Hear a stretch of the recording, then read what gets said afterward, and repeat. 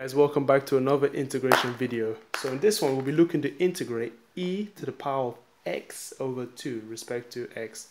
So this one's a quite a popular question and a lot of people seem to have um, some trouble with it. So I want to hopefully break it down. So basically the idea is when you have a constant attached to the x and notice that x is on the top line, this can be rewritten then as e to the power of half x. So and of course this is what you're integrating. If you think about this is just a constant, so you can imagine that if the question was integrate e to power ax, where a is a constant, you just throw it underneath. Literally as that, and write plus c.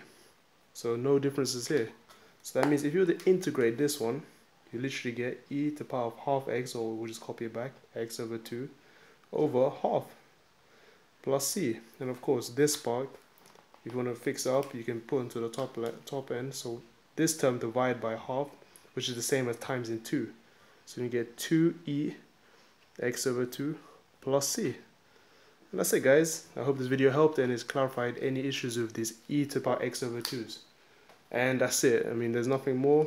It's just as short as that.